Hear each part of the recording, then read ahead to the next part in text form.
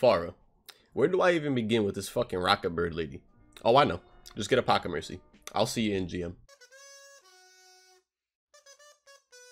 In all seriousness, I want to talk a little bit about this video. So the goal with this video is to kind of introduce players to Pharah. It's not really to give incredibly high level tips or hard to pull off techs. I'm just trying to slightly educate some lower ranked players on the basics of the hero.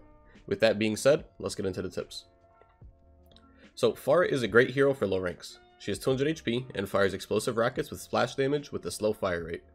Her rockets detonate on impact, dealing 120 damage total to anyone they directly hit, and some splash damage to anyone around it. This makes Pharah great for anyone, like me, whose accuracy is about as good as Shaq from the free throw line. Pharah's most interesting mechanic, and the one that makes her stand out, is the fact that she can fly, kinda. She can boost, hover, jetpack, whatever the hell you want to call it. Pharah gains elevation through a ton of her abilities in her kit. Good Pharah spend a ton of time in the air, constantly raining down damage and pressuring enemies from angles that her teammates can't get to.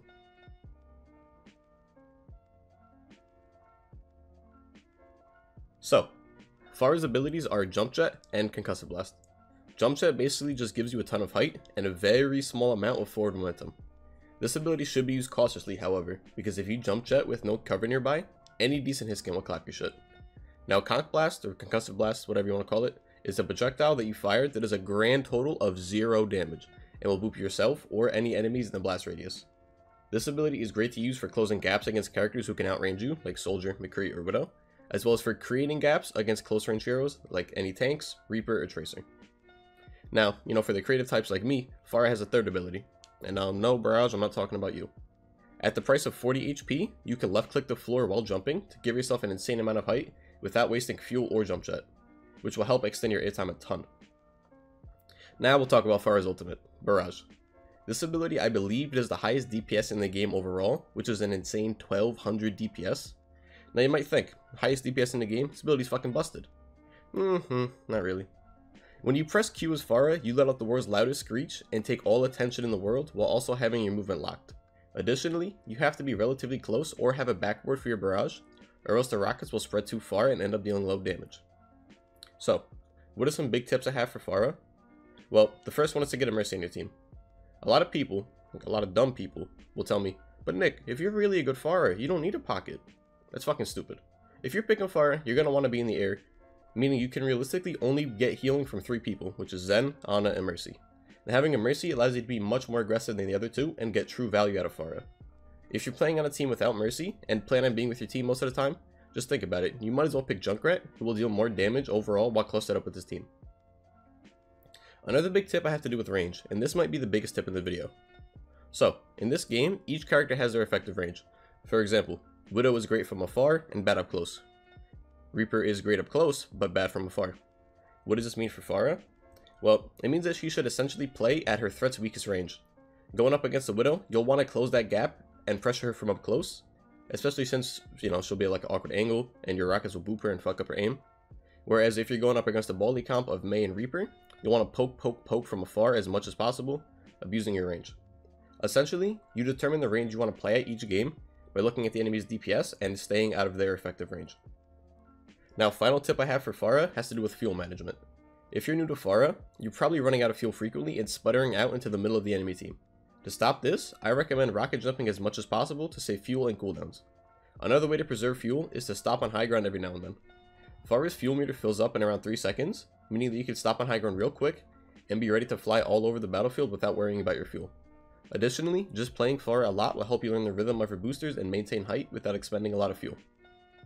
Now, a big mistake I see from bad Pharah players has to do with her ultimate. Pharah's ult, in low ranks, can often be used to surprise enemies and bursting them before they can even respond. However, if you draw attention while getting a position to barrage, your enemies are going to know that you have barrage due to your weird position, and save some defense matrix, a sleep dart, Baptiste lamp, doesn't matter. They'll save something to stop your barrage. You should be stealthy with it, except that you're going to die, but try your best to kill two or three people before you do so. Something else that a lot of bad Pharahs do, and I kind of talked about it earlier, is acting like jump jet is their saving grace. Now, if you're going up against hit scan, using jump jet is going to get you focused and killed. You've got to have some kind of pillar, tower, a building to jiggle peek and duck behind if you're getting pressured by hit. Additionally, bad Pharahs seem to put no attention on their hit counterparts, basically allowing perfect accuracy from them, causing you to die much quicker. Now, let's move on to synergies. Obviously, there's one hero we have in mind when it comes to Pharah, and that's Zenyatta. Zen's Harmony Orb, Alright, let me stop. I'm kidding. It's Mercy. It's obvious that Pharah gives Mercy a lot of mobility, and Mercy gives Pharah a lot more survivability, which in turn allows Pharah to go into more aggressive positions and deal a ton more damage. This synergy is a no-brainer. Now another synergy, this one not so obvious, I promise, is Wrecking Ball. Like we said, an unpressured hit scan will ruin a Pharah, and there is no better character, in my opinion, to pressure hit scan than a Wrecking Ball. A self-sufficient master rat of mobility is the best way to occupy hit scan, essentially making a ton of space for Pharah. If I'm playing Pharah, I'll poke tanks until my ball pressures hit scan, then end up conk blasting in and diving the hit scan with my Wrecking Ball. And then once the hit scan's gone, I could poke the enemy team for the rest of the fight. Now, counters. This section is going to be pretty obvious, so let's go down the list. You've got Widow, Soldier, Ashe, McCree, Ana, D.Va, and Zen. These characters, usually in combination with each other, are going to be enough to make Pharah's life a living hell. Now, I'm not saying you can't win against these heroes, but they definitely have the upper hand, and you have to play around them. Sometimes focusing them is the best way to play around them, sometimes avoiding them completely and focusing tanks is the best way to play around them. It all depends on the current game state. So you might be thinking, god damn, I'm countered by like half the roster. This character's ass, why the fuck would I pick her? And yeah, that's what I'd say too, if I were a little bitch, but I'm not. So, there's obviously a reason to pick Pharah, and here are some of those reasons, aka who do you counter? Torb, Sym, Junkrat, Bastion, Reaper, Brig, Doomfist, Mei. A lot of these characters have an incredibly hard, hard time dealing with you. Most of these characters, you just stay far away and pound them down with rockets, while the best they could do is fling icicles past your head. Now, sure, some creative Doomfist or precise Torbs will hit you every now and then, but for the most part, you do have the upper hand in these matchups. Bastion, while he is a long-range hit scan, you counter him by jiggle peeking, which is when you duck out of cover for just enough time to fire a shot, then go back behind cover. Repeat this a bunch of times, and the shield in front of him, or even Bastion himself, will be destroyed. So, that's about as much Pharah info as I could put out there within 5, 6, 7 minutes, however long I you know talk for. Uh, if you guys have any questions or concerns, let me know in the comments below, and I'll definitely be sure to address them. If you want to see some more Pharah gameplay, be sure to tune into my stream. It'll be linked in the description down below. I stream maybe 5 days a week. Uh, I play almost every DPS hero, but Pharah is definitely my top 5, and you'll find plenty of gameplay on there. Feel free to request the next hero I do. Right now my mind is thinking of doing Mei, but I'm definitely open to change that. Either way, that's the end of the video, and until next time, peace.